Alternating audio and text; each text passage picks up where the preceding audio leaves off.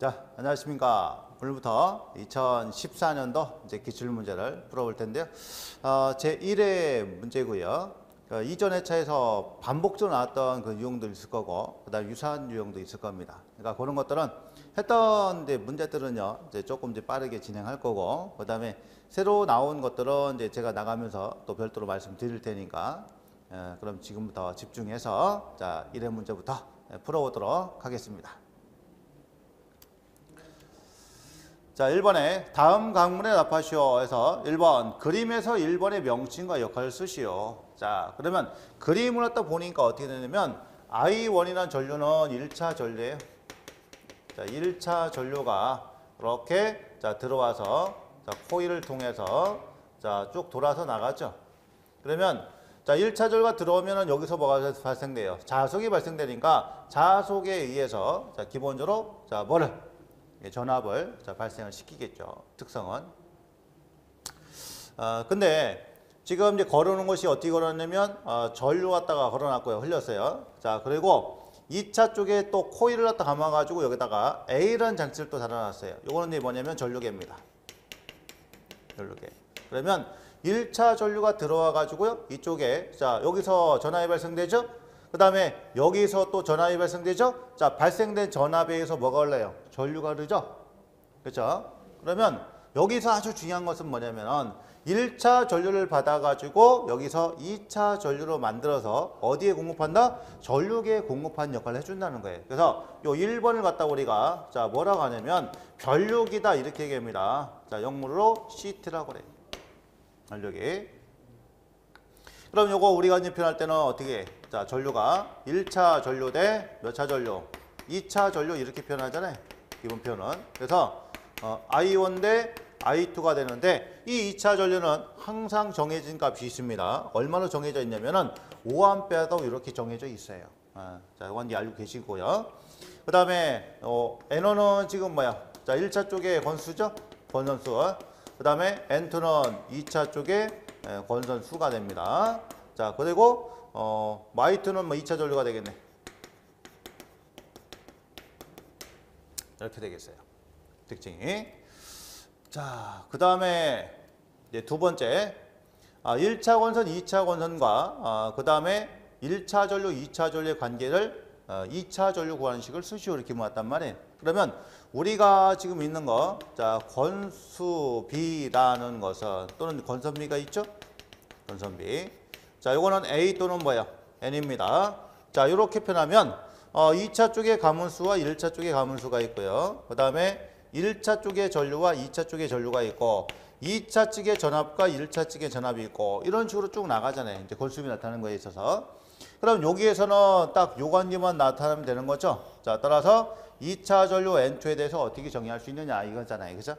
자, 그래서 정리합니다. 자, I2라는 것은 어떻게 어, 요 I1 여기다 곱해주면 되죠?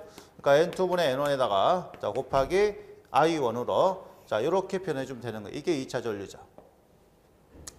표현식을 넣고 그 다음에 자 1번은 별육이고요. 자 이거 역할은 대전류 1차 전류 큰 전류야. 대전류를 어, 작은 전류로 바꿔서 계기나 계전기에 공급하는 역할을 해준다. 자 이렇게 작성해 주면 됩니다. 어, 간단한 문제입니다. 그 답안을 또 확인하면 이렇게 자 답안을 확인할 수 있습니다. 그리고 정리하고요. 그 다음 문제 보겠습니다. 자, 5번입니다. 5번도 우리가 이전 회차에서 여러 번 다뤘던 그 내용이기 때문에 자, 간략하게 한번 보는데 아, 비상설명입니다. 아, 1번에 실내 설치하는 확성기 음성 입력은 몇 와트 이상이냐. 자, 이거 두 가지 있잖아요. 실내하고 그 다음에 실외 있습니다. 실내 같은 게몇 와트 이상? 1와트 이상이고요. 실외는 3와트 이상이죠. 음, 그래서 여기서는 요 실내 거 문화세니까 1와트 이상 답을 작성하시면 되고요. 자, 두 번째입니다. 하나의 확성기까지 수평거리는 몇 메타 되도록 25m 이하가 되도록 배치를 해준다. 이렇게 되어 있죠. 그러니까 이거는 확성기, 그 다음에 발신기, 그리고 어, 어떤 거? 지구 음향장치 이런 것도 다 똑같잖아요. 25m. 예, 그렇죠?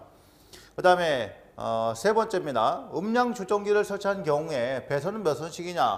3선씩이란 말이에요. 그죠? 그러면 우리가 최소 3단씩은 그릴 수 있어야 되니까 한번 간략히 한번 그려보겠습니다. 자, 여기가 이제 증폭기예요. 증폭기가 있고, 그 다음에 이렇게 이제 해서 자, 쭉 가죠. 자, 스피커가 있고, 그 다음에 여기는 이제 절한 수시가 자, 이렇게 구성이 될 겁니다.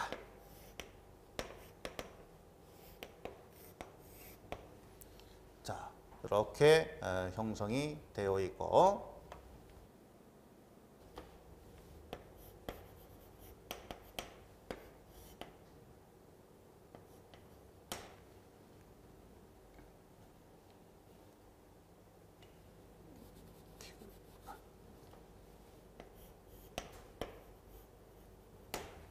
자, 그 다음에 요 부분이 어디냐면은 얘가 음량 조정기죠?